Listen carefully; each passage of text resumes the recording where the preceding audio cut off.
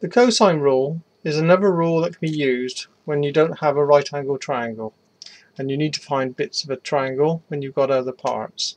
So the rule states the cosine of angle A, which is that one there, equals b squared plus c squared minus a squared divided by 2 times b times c.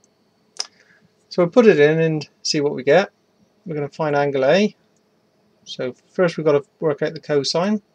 Cosine of A equals well, b squared, but it's 5 squared, plus the c squared, which is 6 squared, minus the a squared, which is 4 squared, all over 2 times 5 times 6.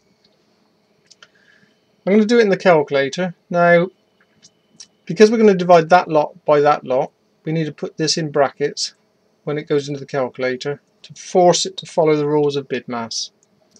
So here we go, open a bracket,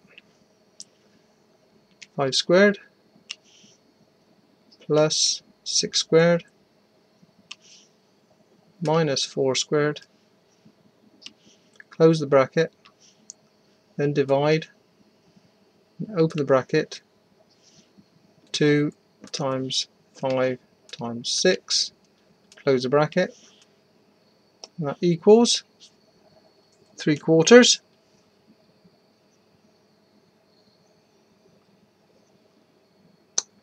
And that's the cos of A.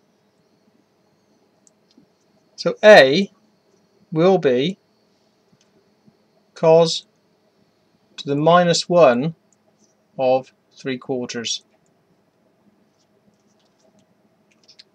Now using this calculator I can use the 3 quarters there as the answer and put it in later on.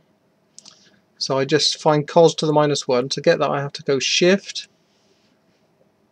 cos to the minus 1 and then put in, press the answer and that comes up as the, the 3 quarters that go in there then.